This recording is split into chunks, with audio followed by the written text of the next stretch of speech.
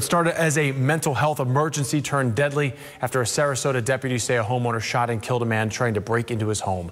ABC Action News reporter Wendy Lane has been following the story all day for us and has learned why it's being called a tragedy for two families.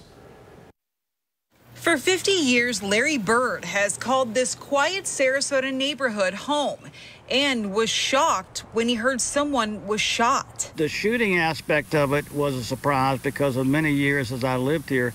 It's just not that kind of neighborhood. The situation started when deputies say 29 year old Aaron Pisher's family called 911 last night just after 11. Pisher's family had called 911 because he had recently experienced mental health issues and seemed disoriented earlier that day. But deputies say Pisher ran from the home before they arrived.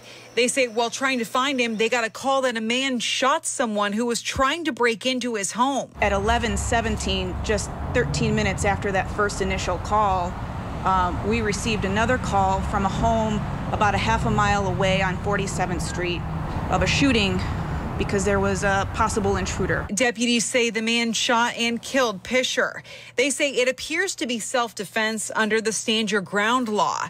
Pisher's family and the homeowner declined an interview, but Bird says the situation is sad. I'm sorry that they're having to go through this. The sheriff's office says the investigation is still ongoing. This is a tragic situation for both families involved. In Sarasota, Wendy Lane, ABC Action News.